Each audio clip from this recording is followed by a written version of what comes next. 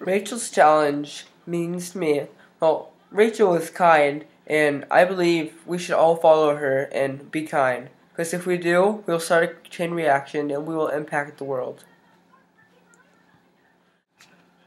It is very important to help others, particularly elderly people, who are often looked down upon.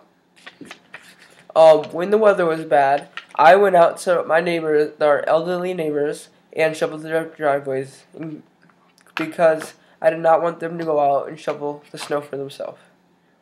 Um, I also, with my 4-H group, I went to um, Friendship Haven and I played bingo with the elderly people, and we also I also made bread for them. Um, this school year, I also went over to the Marion home and sang with my choir, and we played bingo with them.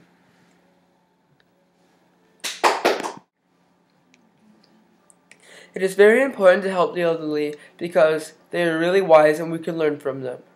In other cultures, the elderly are respected, and in ours, they aren't. So I believe we should start respecting them. It only takes one person to start a chain reaction. Do you accept the challenge?